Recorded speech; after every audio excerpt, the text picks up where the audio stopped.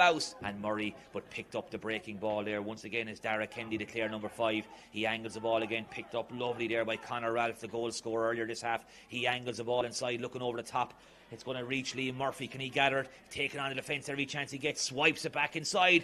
Did a clip around the post into the goal. Unbelievable finish from Liam Murphy. Almost sliced the ball around the defender into the goal.